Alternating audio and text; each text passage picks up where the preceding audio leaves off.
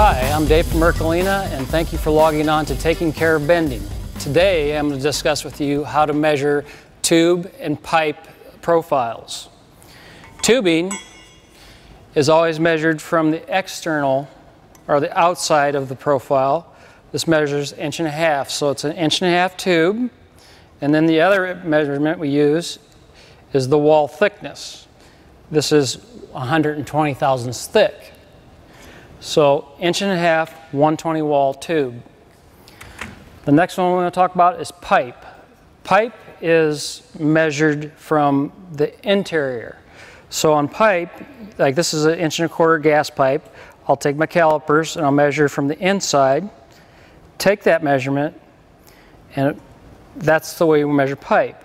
On pipe is measured from the interior and then on piping, we have what we call schedules. You have schedule 5, 10, 20, 40, and on up the line.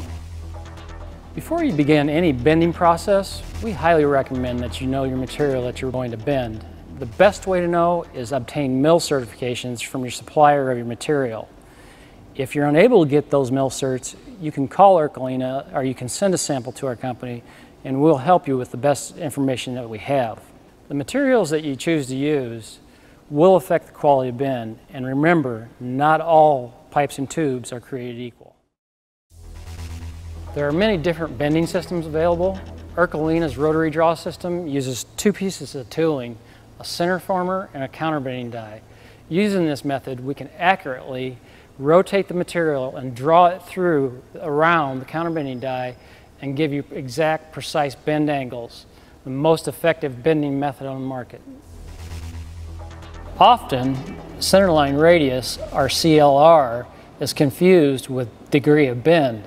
CLR is the distance from the center of the forming die to the center line of the material to be bent.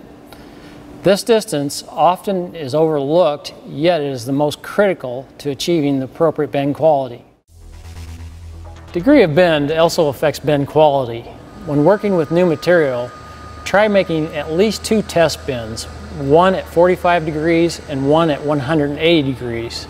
You may see slightly different results in the workpiece because greater bend angles produce more wall thinning and deformation in the material. All materials are prone to a springback effect. Essentially, material relaxes after the counterbending die pressure is released. Most materials are slightly overbent during a bend cycle to compensate for this effect.